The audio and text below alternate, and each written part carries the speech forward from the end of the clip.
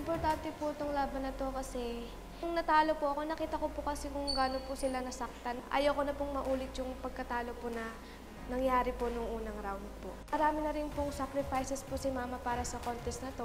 Nagaya po ng iniwan niya po yung trabaho niya sa amin para lang pong makapunta dito. Ngayon po na nabigyan po ako ng second chance para lumaban, mas lalo po akong naging determinado pong manalo.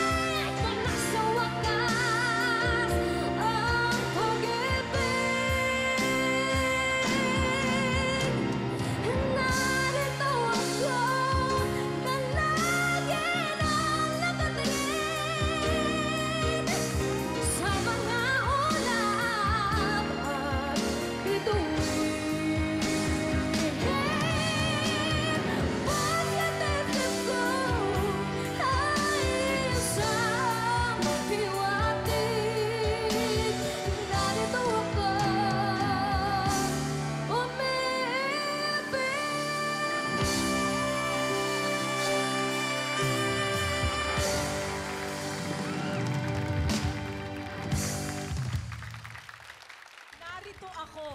Tapos nariyaan ang kumanta. Yes, tama, tama. Ange, na-feel ko yung kaba mo eh. And next time, talagang kailangan ma-practice mo pa yon ha? Na kung paano mo makokontrol yung kaba.